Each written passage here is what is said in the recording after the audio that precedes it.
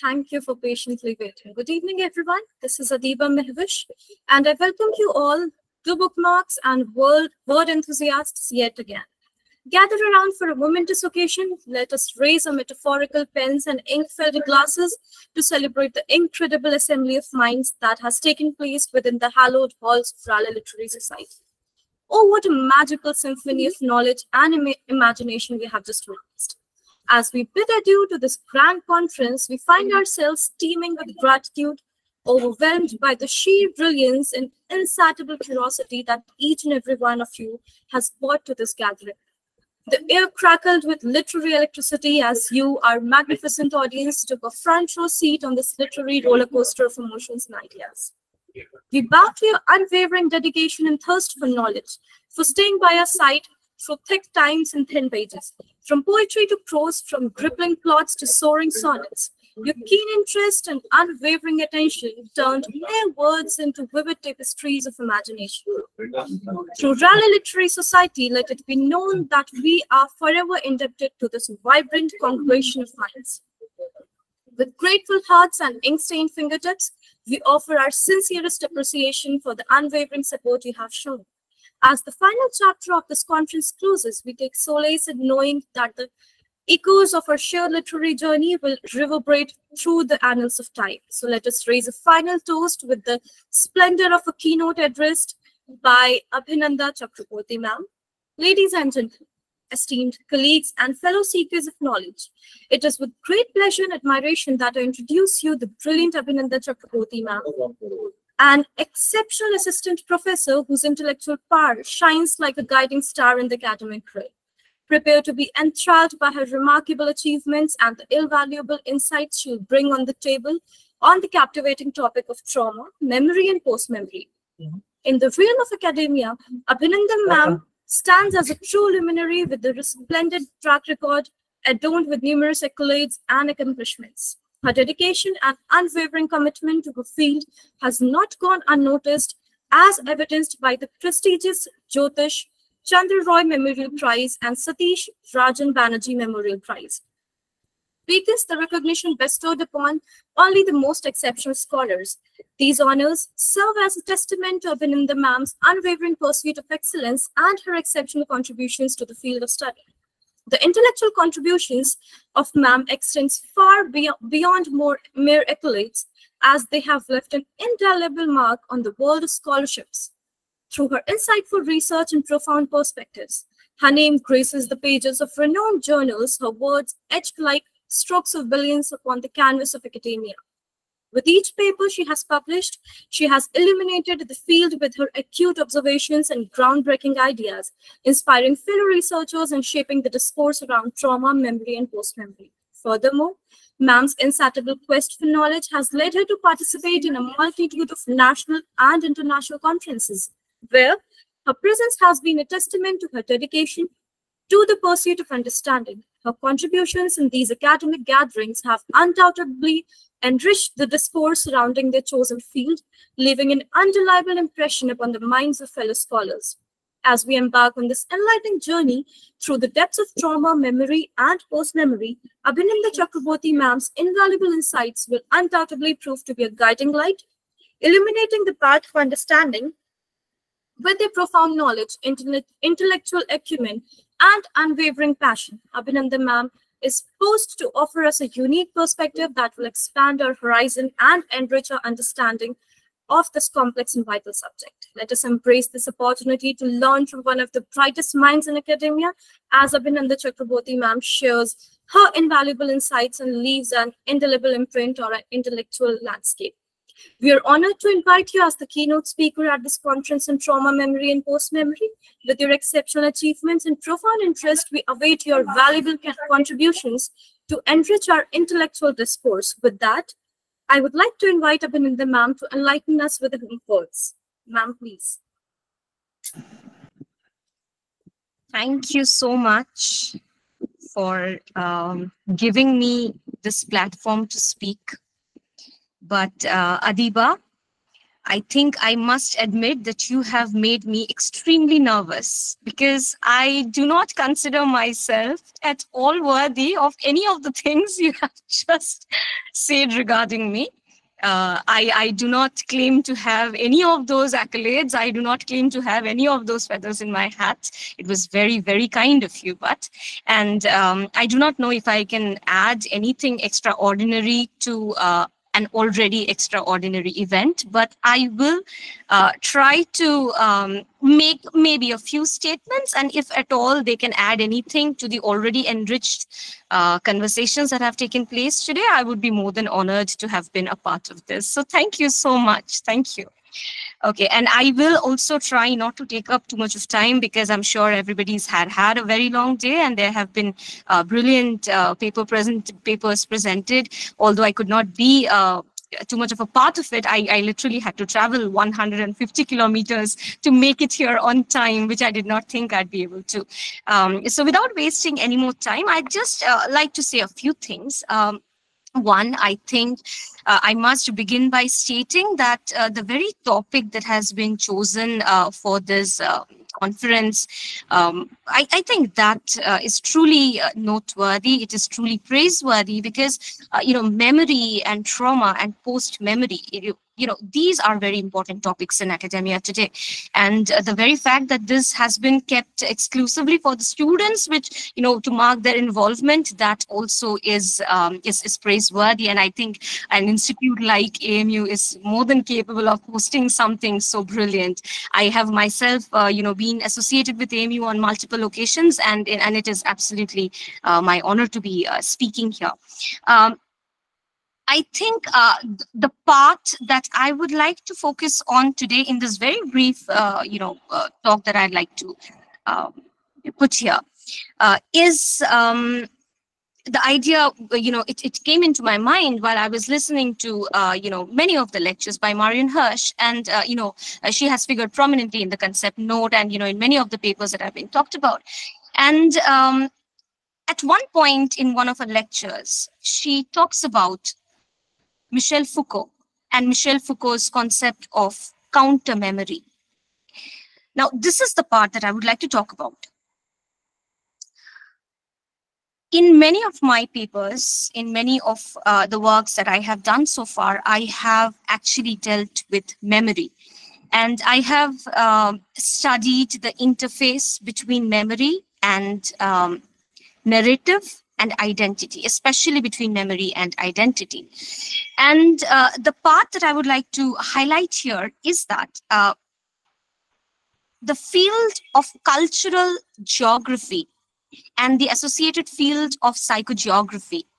In these two fields, memory figures very prominently. Uh, so cultural geography would, of course, involve the analysis, the study, the examination of uh, the evolution of human culture as it is embedded in space and psychogeography, as the name suggests. Uh, it is also one of the most emergent fields right now. Um, it basically deals with the interface between uh, the human psychology on the one hand and um, the surrounding physical environment on the other. And in both these associated fields, what we find common is this common obsession with memory. Why that is so? Because when we are formulating cultural memory, we are looking at collective memories. And again, this is a trope that Marianne Hirsch is talking about, that Michel Foucault is also talking about. And in all of these thinkers, in all of these um, ideas, we have the common ground where all these collective ideas are being embedded in space in in in bodies that are themselves embedded in that particular space. And uh, while i was doing a post-colonial analysis uh, you know looked at through the lens of psychogeography there was something very interesting that i found.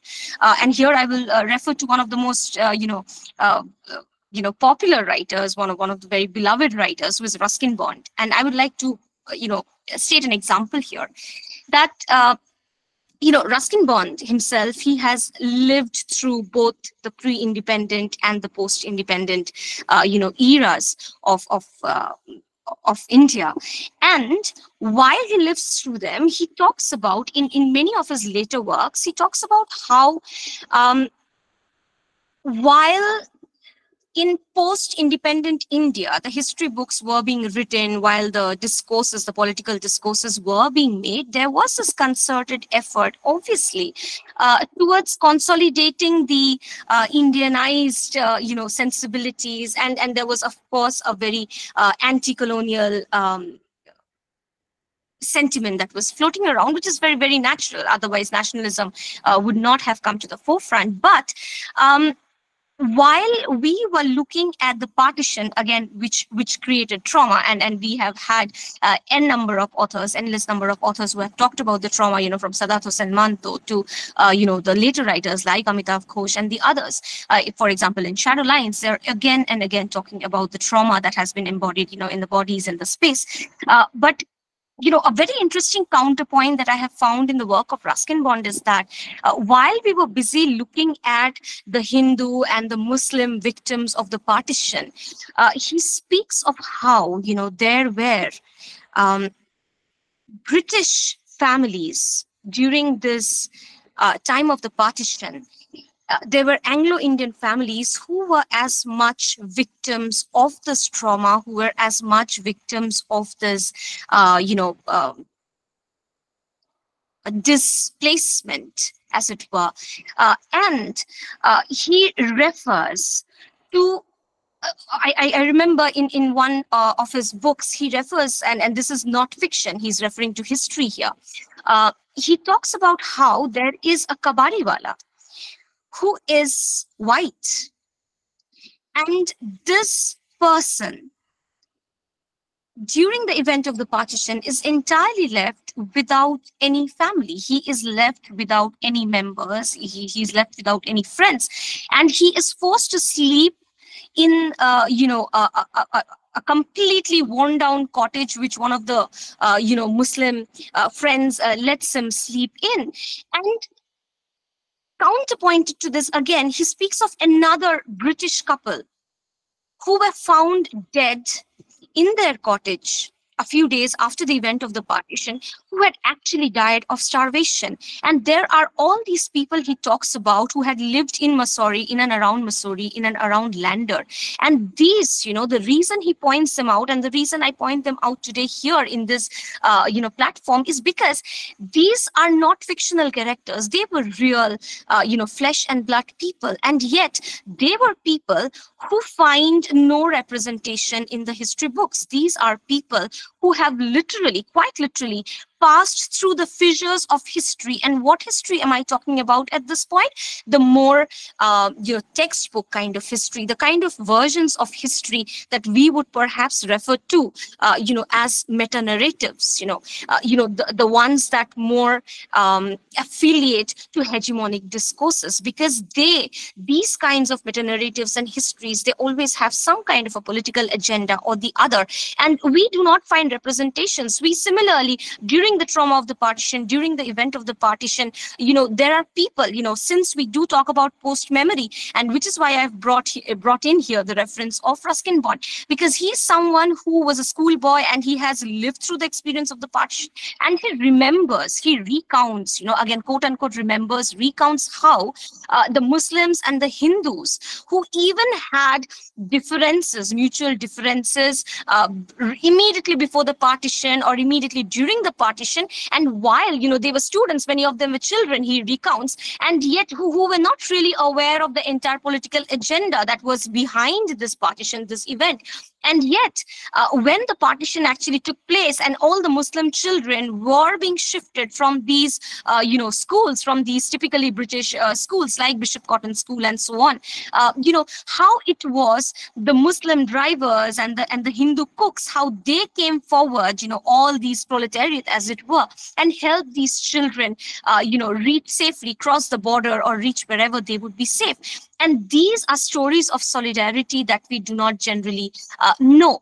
And uh, I think another point that um, that could be relevant here is that um, you know, when we talk about the theories of, of, of memory, um, there is a particular study um, uh, you know, where uh, the, you know, the uh, the theory states that if we were to take uh, human memory and uh, study it in depth, then it could be divided into the long-term and the short-term memories. And these long-term memories, if you were to divide them further, uh, if you subdivide them even further, there would be the point where we would be branching off between the semantic memories and uh, you know the episodic memories now these episodic memories are where we are fundamentally possessing memories of people, possessing memories of places, of experiences that we have personally encountered, and these remain embedded for very long in our minds. On the other hand, we have the semantic memories, which derive from these episodic memories, and these in turn are divided into two categories. One where we know facts about ourselves and the other where we have uh, you know traits the knowledge of the self right? So if i were to talk about the semantic self uh, self facts it would be the fact that you know i am so this is my name and this is how old i am this is where i live. Now these facts are stored in one part of the memory while the knowledge that i am experiencing this or these are the people i have known these are the experiences i have had you know um, you know regarding my identity these would be stored in the episodic nature. And i think uh, this is the point where the study of memory, the theories of memory, and the study of, say, cultural geography or psychogeography would come together. Because when we look at Ruskin Bond or when we look at these stories of trauma, of post trauma, it is very interesting that we have not experienced these traumas ourselves, as Marianne Hirsch uh, talks about when she talks about post memory. So basically, these are episodic memories of, of parents, of grandparents who have gone through these. But when they hand these memories down, we process them in such a manner that they become part and parcel of our semantic memories and they become part and parcel of who we recognize as ourselves. They become part of quote unquote our self. And yet, these micro narratives, as it were, they sometimes they would uh, affiliate to the meta narratives that are floated out there and sometimes they would clash with the memories that you know are out there collectively. And i think this is where foucault or you know any of these uh, you know um, you know thinkers would come in. That micro narratives i think at the end of the day you know as carriers of memory is extremely important. Why? Because memories offer, if not anything else, the very fact, you know, that we remember, it offers a resistance against uh, oblivion. It offers us a resistance. And if we do not forget, if we do not sink into oblivion, if we can remember, it uh, enables us to resist through our micro narratives, the meta narratives that, uh, you know, the hegemonic forces are always trying to impose upon us, which is where our personal, uh, you know, memories, our personal experiences, and those that are more familiar uh, you know, they must come together, blend together in order to form our micro narratives that would enable us to go beyond the meta narratives in order to be able to create these parallel histories. And, and I, I, think this is something that was covered in one of the, um, you know, um, sub themes of this particular uh, conference today. That his that memory as parallel to history memory as offering a parallel history. And that is why whether whether it be the memory of uh, the apartheid in south africa whether it be the memory of the blacks uh, you know in america the slaves whether it be the memory of the partition whether it be the memory of the holocaust. But it is not important if we have ourselves experienced it or not. But it is important to remember and to pass these on to the future generations so that, and especially as I insist on the micro narratives, so that we do not forget, so that we do not end up as a culture, as a collective, affiliating to these meta narratives that are once again politicized, that would always become weapons and tools in the hands of the powers that be. No, it is very important that we maintain the counter hegemonies, that we maintain the counter narratives, the counter memory, so that we can resist. And as long as we resist, the individual will continue to be and, and, and so that we do not risk falling into oblivion. So that would be a very brief presentation. That, that would be it. Thank you so much. Thank you.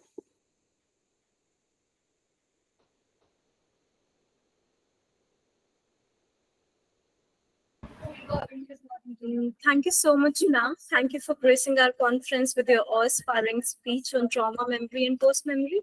Your profound insights and exceptional delivery left us mesmerized and enriched our understanding on the subject. We are immensely grateful for your valuable contribution.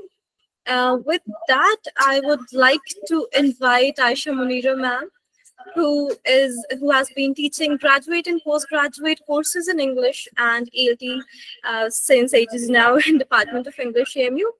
Uh, with that, I would like to call Aisha ma'am. Ma'am, please. Am I supposed Aisha, to speak right now? Hello? Uh, yes, ma'am. please add uh, some points uh, on the conference, on the theme of the conference. Okay, I just chaired a session and there I had uh, uh, talked about a few things. Uh, indeed, it was a very good presentation or talk by uh, Professor Abhinanda. Thank you so much for joining us today. And uh, let me first thank the chair, uh, Professor Asim Siddiqui, and the organizers, uh, Abdullah, Utkarsh, Sharmeen, Adiba, and all others. You have done a wonderful job. It's a, it's indeed a very important topic on which you have held this seminar, and that too a seminar for students. We, in the previous century, that is the 20th century that we have left behind, but still it's continuing in various themes such as uh, memory trauma and uh, i would also like to connect uh, these two words uh, these two terms with literature and literary representations of memory and trauma. Uh, these uh, two words became very important and they were theorized in the previous century due to three uh, factors which i have already mentioned in the session i chaired just to make it very simple for the students, let me tell you that uh, you know the factors why they became important, but you should be able to relate them with each other. So the first factor, the first important reason why memory, trauma and memory became uh, important um, uh, issues that uh, were theorized in the 20th century. Number one, due to the fact that Freud was there, obviously, and uh, Freud's uh, psychoanalysis and how he tried to, in the Western world, I would say in the West, uh, the unconscious was discovered, or at least it was uh, discussed and was made to be a part of discussion and uh, understanding of human mind. So I won't say that in the non-Western world, that is the East, this concept wasn't there. It was there. But in the West, for the first time, we see that unconscious is being discussed and sessions of uh, psychotherapy uh, are done, experimented with, uh, so far as Freud is concerned. And he is a person who looked at uh, human psychology as something that could be treated clinically and through talks. So psychoanalysis is impo- an important uh, uh, development. Number two, we know how the 20th century was fraught with so mm, in the Western world, it was fraught with wars. We discovered that uh, the Western pretension of uh, um, civilization was totally debunked due to the fact that two very gory, bloody wars were waged, killing millions of people. And after that, also people were traumatized. A very classical example we have in Mrs. Dalloway by Virginia Woolf, you know, one character who finally commits suicide. Mrs. Dalloway, who is well adapted, though quite all the time perturbed inside uh, her mind, in her mind, she is well adapted to the bourgeois society she's a part of. As a woman, she suffers more because she has to suppress herself more. But she's the witness, uh, or perhaps it's a kind of what to say, it's something that happens in her psychology. She witnesses a person suffering from PTSD, post traumatic stress disorder, committing suicide. And then this is the second point you need to remember, keep in mind in order to understand why these terms became important. And the third one is there were certain laws. Foucault talks about this that uh, what happens uh, when violence doesn't work or when violence has to be substituted with something, violence is encoded. I'm not able to recall the exact words, but violence is encoded in form of uh, laws, norms, and rules of the society. So legalization or encoding um, rules and norms of the civilized world in form of laws also is a kind of um, act of violence because it tries to violence somehow inside. So this is how he looks at uh, uh, legal rules that are impo imposed on uh, people, individuals in the society. So these three points we need to remember to understand why memory, why trauma during the 20th century, and still these uh, issues are important these uh, in the 21st century, since we know that all the time uh, the danger, the peril of uh, a nuclear disaster is lurking. And we have come very close to, uh, many times we've come close to, you know, according to the doomsday clock, which you can Google and find out what it is.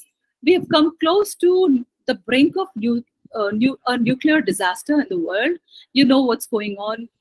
We know that the superpowers in the world, those who rule the world, have access to nuclear weapons, and uh, we are all the time somehow risk uh, at uh, sitting at a risk. It's like sitting on a volcano all the time and thinking that some psychos may not let somehow or push some buttons and let all the you know violence that is being suppressed out and which will kill the entire, wipe out more than half the humanity.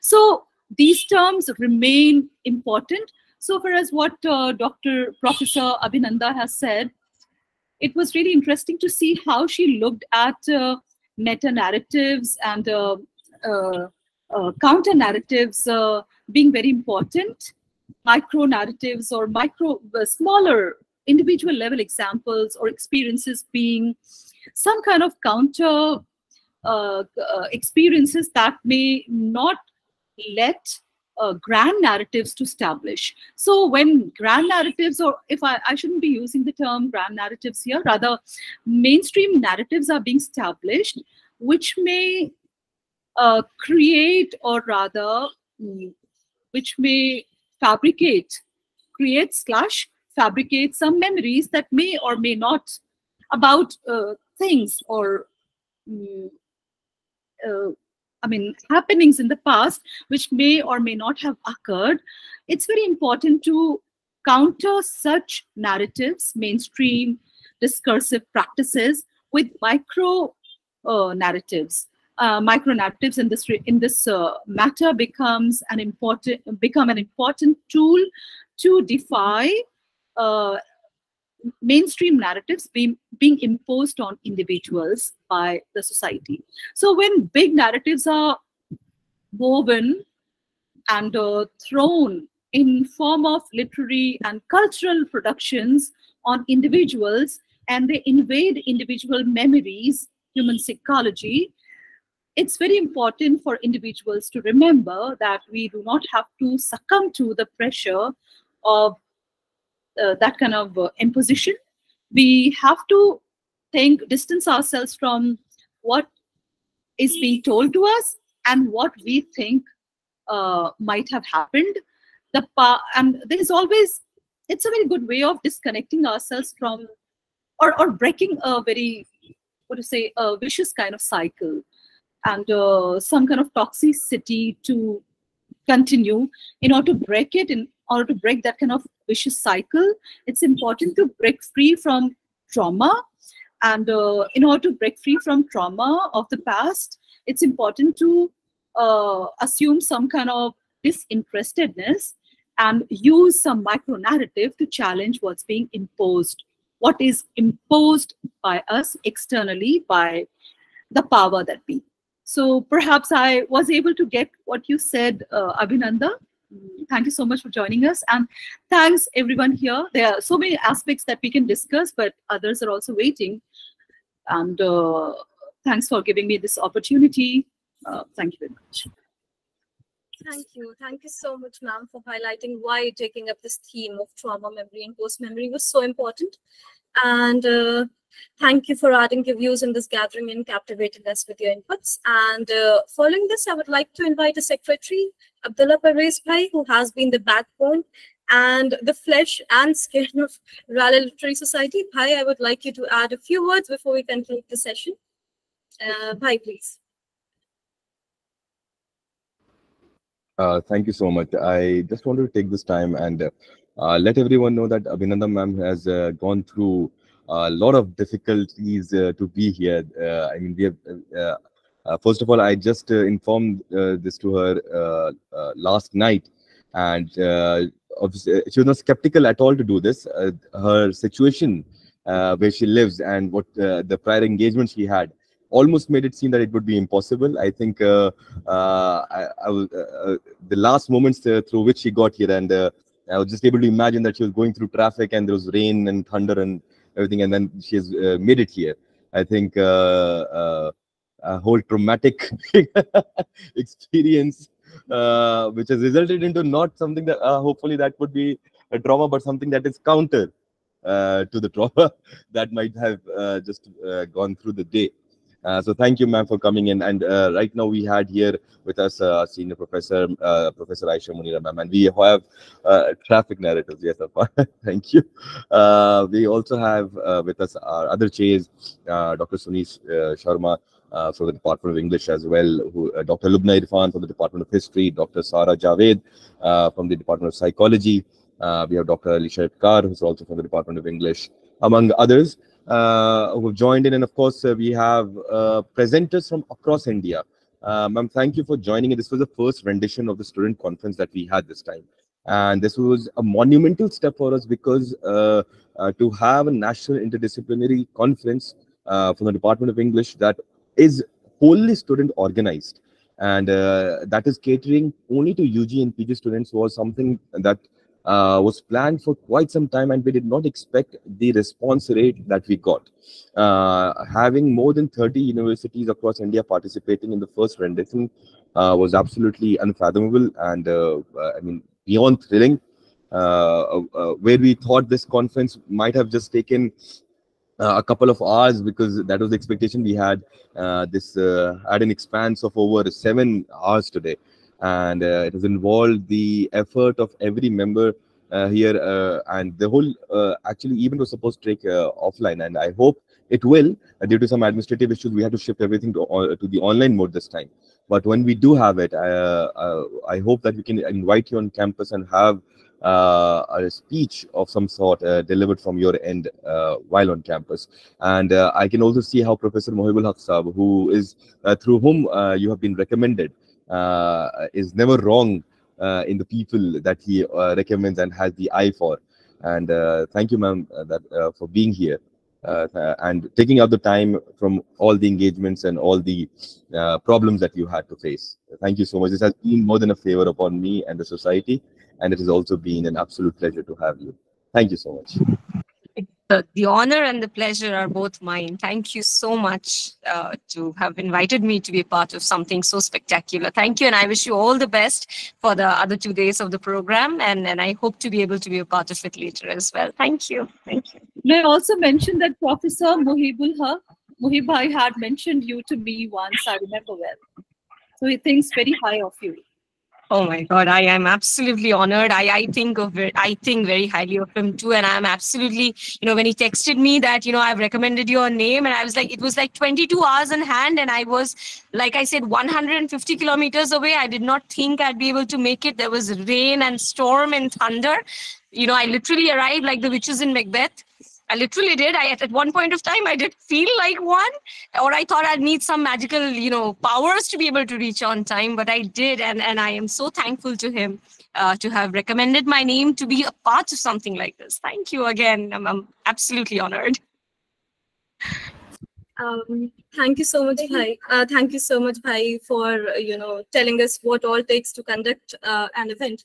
And indeed, it is it is actually difficult to gather such intellectual heads at one single place under a single banner. But I guess this is what makes Raleigh Literary Society stand out, as we are able to conduct things and execute such events despite of the hardship that come our way. So thank you so much, Abhinandan, ma'am, uh, for uh, you know crossing all that uh, difficulties in being here among us. With that, we'll move towards the conclusion of day one of the festival. Our dear audience, may your bookshelves be forever filled with enchanting tales and may the magic of words continue to ignite your hearts and minds. Until we meet tomorrow, let the adventures of literature guide you through the pages of life. Thank you to all the presenters who presented their papers and different discourses and to all the attendees who were presence, uh, who marked their presence and made this conference a blast. Thank you everyone for being such a wonderful audience. I look forward to meet you all tomorrow in the captivating panel discussion we have planned on the day two of Raleigh Literary Society. Thank you everyone once again. On a high note and the same enthusiasm, I bid farewell today only with the promise that we'll meet tomorrow in the panel in the same numbers and with the same excitement. Take care everyone. Thank you. Thank you for joining us.